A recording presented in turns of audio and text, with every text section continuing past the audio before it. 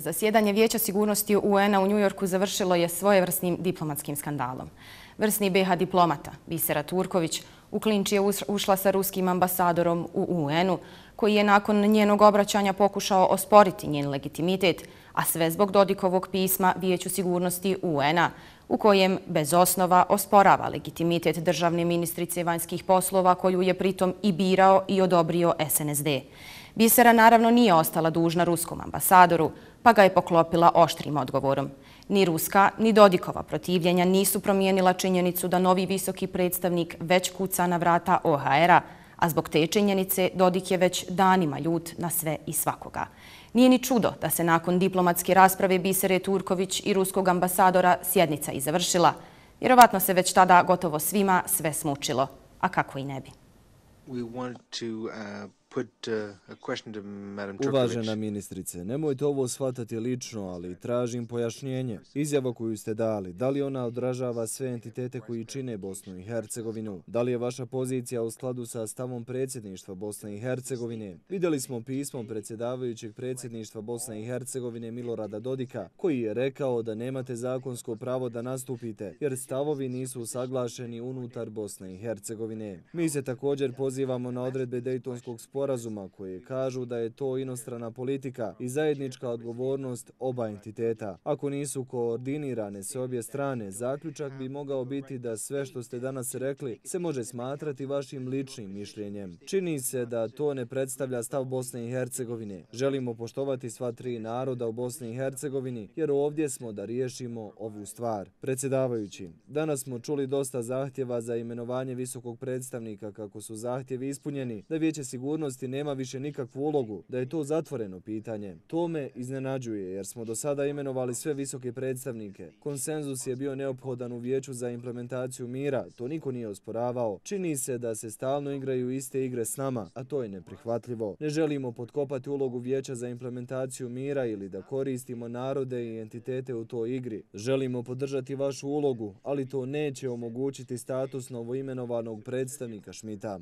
I would like to ask His Excellency Da li vi imate ovlaštenje ministra vanjskih poslova Rusije Sergeja Lavrova da mi postavite to pitanje? Ako nemate ovlasti Lavrova, onda je to vaš lični iskaz. Ja ne bih odgovorila na vaše lično pitanje. Ali ako možete dokazati da imate ovlaštenja vašeg ministra, onda vam mogu reći da sve što sam rekla je zasnovano na strateškom dokumentu inostrane politike koja je usvojena u Bosni i Hercegovini. To su principijelni dokumenti na kojima se zasniva sve što sam radila što radim i što ću raditi. I zato se sa mnom ne slažu. Ali većina onih koji stvaraju strateške dokumente, koji su ih usvojili i koji dolaze iz sva tri konstitutivna naroda i drugih građana Bosne i Hercegovine, definitivno će dati podršku. I očekuju od mene da zastupam sve njih, što ja i radim.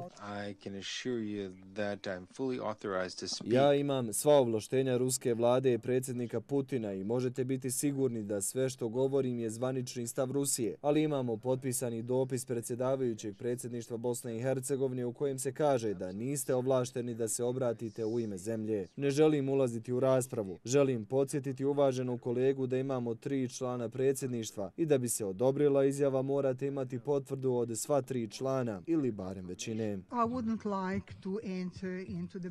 Ne želim ulaziti u raspravu. Želim podsjetiti uvaženog kolegu da imamo tri člana predsjedništva i da bi se odobrila izjava morate imati potvrdu od sva tri člana ili barem većine.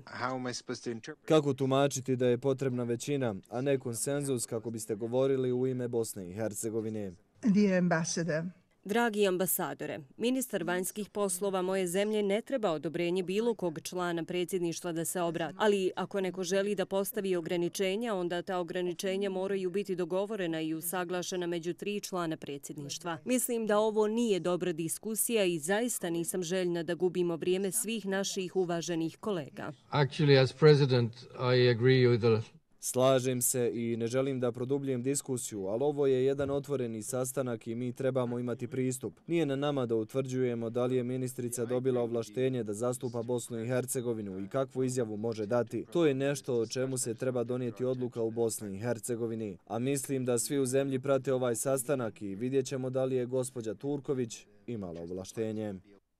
Bio je ovo diplomatski duel koji je izazvao brojne reakcije. Dodik je kazao kako je antiustavnim ponašanjem Turković pred vijećem sigurnosti UN-a predsjedništvo Bosne i Hercegovine degradirano, a njegova ustavom zagarantovana pozicija uništena. Bisera Turković ni jučer pred vijećem sigurnosti UN-a nije bila ministrica vanjskih poslova, već i zaslanica bošnjačke politike koju u predsjedništvu zastupaju čak dva člana. Gospodja Turković je, moljakajući za nastavak protektorata u zemlji u kojoj je ministrica, prevazišla biseru koja je iz svijeta donosila hurme, dok su građani Bosne i Hercegovine iz Srbije dobijali vakcine i spašavali gole živote. Za posljednja dešavanja na međunarodnoj sceni nije kriva Bisera Turković, nego koalicioni partneri SDA iz RS-a koji joj dozvoljavaju takvo ponašanje. Mora se jasno i glasno reći da je gospođa Turković izbor SNSD-a, da su oni glasali za to da ona obavlja posao ministra inostranih poslova i da ona i dan danas ima podršku SNSD-a. Dok je PDP predstavljao RS u predsjedništvu Bosne i Hercegovine i Ministarstvo inostranih poslova, ovakve stvari se nisu dešavale i RS nije bila u podređenom položaju kao što je sada slučaj. Nenad Nešić osuđuje neprofesionalno ponašanje ministrice Turković. Bosna i Hercegovina ne može i neće opstati ako se ne okanete cilja o tome da Bosna i Hercegovina pripada samo jednom bošnjačkom narodu. I nema tog OHR-a, guvernera ili šta se već može smisliti i nametnuti koji će srpskom narodu odrediti pravo na postojanje i jačanje. Mi to pravo osvajamo i branimo sami, naveo je Nešić. Podsjećamo, Turković je u svom obraćanju Vijeću sigurnosti UN-a pozvala članice Vijeća da nastave podržavati rad visokog predstavnika u Bosni i Hercegovini, te naglasila da Bosna i Hercegovina jedva čeka dan kada će se OHR zatvoriti, ali da, nažalost, taj dan još uvijek nije došao. Iako se Rusija usprotivila dolasku novog visokog predstavnika Kristijana Šmita, a Dodik kazao kako visoki predstavnik nije legitimno izabran jer nije bilo konsenzusa u Vijeću sigurnosti UN-a, američki predstavnik u Vijeću sigurnosti UN-a kazao je kako je imenovanje Šmita gotova stvar.